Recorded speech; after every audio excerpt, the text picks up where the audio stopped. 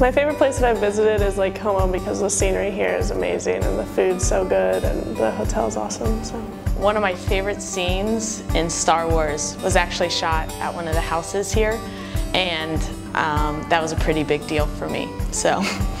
Switzerland today actually. The water, the mountains were so pretty and everyone was just so, I don't know, I just, I can't really put it into words, but it was just so calm and um, the chocolate was amazing, so that was great. Uh, the favorite place that we visited for me was San Marino because of the gorgeous views. Like when we were in the square, got to the top, it was just gorgeous.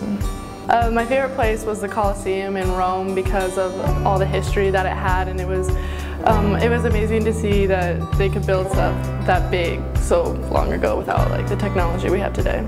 Probably Lake Como and the boat ride tour was really awesome to see the whole lake and it's really pretty.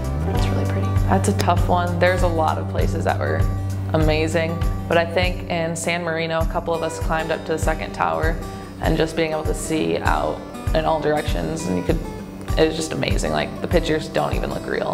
I really like Lake Como just because of the lake and all the beautiful scenery. It's very neat. There's a lot of cool shops. Uh, San Marino.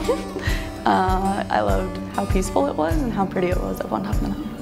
Favorite place I visited was Florence by far. Um, just because of how beautiful it was and I loved all the little side streets and alleys that I don't know, I just love the look of them and I think it was really cool. My favorite place is definitely Como. Um, it's just beautiful. I like how it's pretty like, it's not as hectic as a lot of the other cities we went to. And yeah, the lake's beautiful. And it's just something I've never seen before. Okay, I have two. So the first time we, we came into Rome on our bus tour and I saw like how big all the structures were.